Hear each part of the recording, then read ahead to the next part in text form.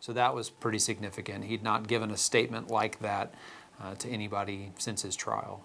Putman says Davis never admitted to the murders, but his team was convinced by the evidence that he had committed the crimes. And the only reason he could have done it would have been that he enjoyed it, which is really hard for people to fathom and kind of wrap their minds around.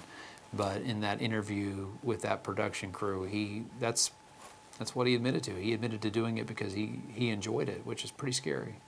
I asked the hospital's media team about if any steps have been taken since the case to ensure patients feel secure. In a statement, they said, quote, Christus Health acted quickly, immediately, involved local law enforcement and assisted in ensuring that justice was delivered for the families of these patients. Putman says his office and the police department also took several lessons from this case. Building a relationship with the hospital was one of them. To have a lot of help from doctors and nurses explaining to us what we were seeing in these records and what normally goes on in the hospital. So we gained a lot of information from that. I don't know how helpful that is to any other case, because this is a pretty unique uh, set of circumstances.